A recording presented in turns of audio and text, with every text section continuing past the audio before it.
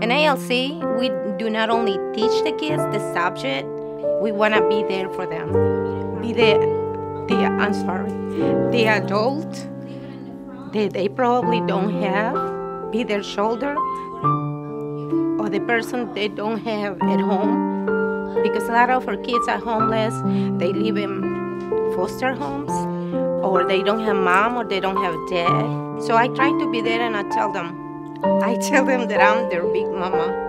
I say, Big Mama is gonna get you. So I'm there for them. They always say to me, Why do you believe in us so much? And I said, Because you are part of me. They say, You don't even know what I'm here. Do you wanna know? I say, No, I don't need to know. I just need to know that you're here. For the time being, I wanna make it perfect. I wanna make it nice. I want you to feel comfortable. I want you to feel secure. I want you to know that I will protect you regardless of anything and that I'm here for you.